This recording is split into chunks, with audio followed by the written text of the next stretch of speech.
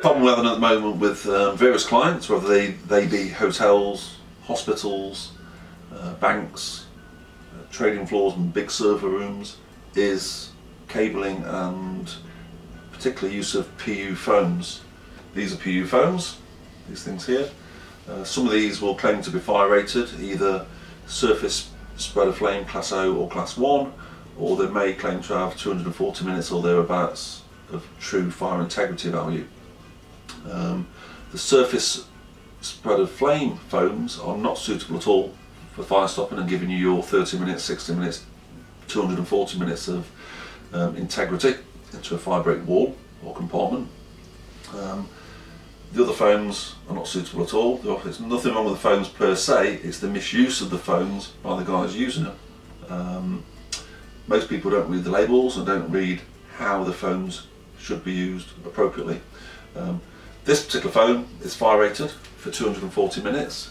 If you read the label and the data on the back, and there's a data sheet to go with this which gives you the test evidence for how this was tested um, to prove that it will give you 240 minutes. This can be used for 15 millimeter wide hole to a depth of 220 millimeters, but it can only be used in concrete or block wall work. And it cannot be used with any other surfaces that would invalidate the test evidence that's already here, and you'd have to go for a retest. If PU foams have been used up to 15 millimeters, they need to be cut back to a depth of 20 to 25 mil and overfilled with a suitable intumescent mastic.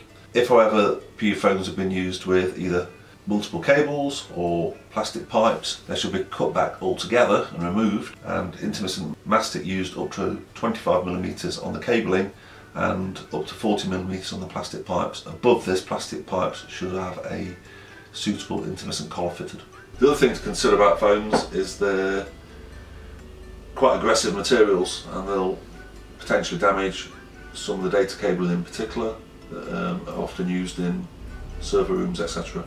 Um, we've come across many instances where these foams have been sprayed on cable trays or into penetrations and they've actually affected the integrity of the cable.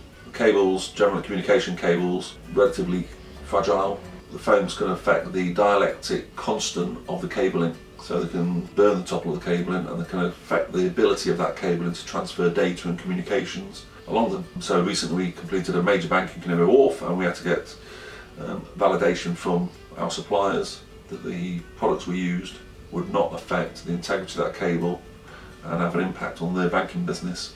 Obviously these PU foams wouldn't achieve that and we can't give that form of guarantee based on use of these things. However, there are many alternatives and Mark will just talk about those. Some of the alternatives are CP606 mastic, CP611A high pressure exerting mastic, CP601S silicone, CP643 collar, CP648 wrap, CP651 pillow, CP670 bat, CP660 high pressure exerting foam.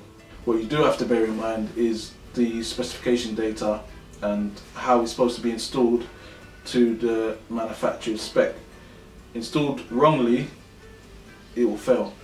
And basically, you cannot get your maintenance men or unskilled labourers to fit these systems without the proper knowledge because we only get one chance to do it right.